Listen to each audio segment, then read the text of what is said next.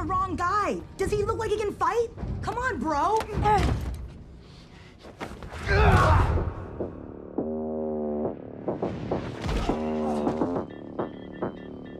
It's a real honor to speak with you. Thank you for joining us.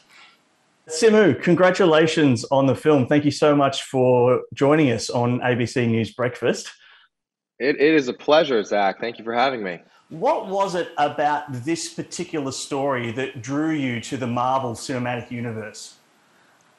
I think I really want to do something different from what I've did in the past 39 years. And uh, before I decided to take this project, I had a net meeting with uh, our director, Destin, and uh, I have a very good talk with him, and I have a very good feelings about this person.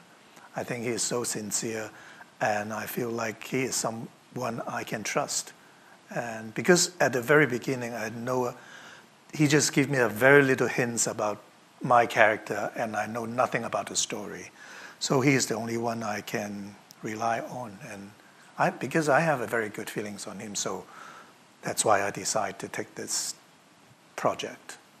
Uh, your performance in this film has so many layers. What was your process of finding the soul of such a complex character? I really don't know. I just try to figure out um, uh, the backstory of this character, how he brought up, what he went through. I just try to figure out that story outside the script. So I think the more details you you can you can put into this, this the, the backstory, then you can create such a uh, complicated character.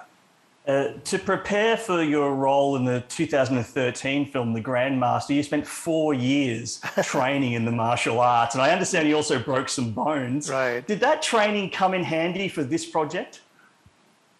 For this project, because at the very beginning I didn't know I have that much fighting scenes because I've asked Destin uh, before, and and I asked him, "Do I have to do I have to fight?" And he said, "No, you you don't have to fight. You have the uh, rings." And I thought I don't have to fight, so I didn't prepare uh, before I go to Sydney. So, uh, but uh, fortunately, I practiced some martial arts before, so I think it really helps me to to do all the action in this movie. How do you feel the representation of the characters has changed from the 1970s comic book to this feature film incarnation? I don't have a chance to, to read the, com, the, the comic books in the, uh, in the past days, so I, I don't know how to compare with them. But I think Marvel is trying to, to create a new character, a new villain that, that doesn't have any relations to the, the, the character before. What are your recollections of uh, visiting that city? I love Sydney because I love water sports. We only have to work like five, five days a week. So in the weekend, I usually go to the beaches. There are lots of lovely beaches in Sydney, and uh, the people is really nice. I was speaking with Simu yesterday. Uh, how did you explore the dynamic between your characters with him? 我同呢班年青演员合作咧。 我覺得佢哋帶俾我好多動力，因為我見到佢哋好似見翻我以前喺電視啱啱開始出嚟拍戲咁，我睇到佢哋好有 passion，好好想學，好想體驗。我同佢哋一齊，我覺得好有活力。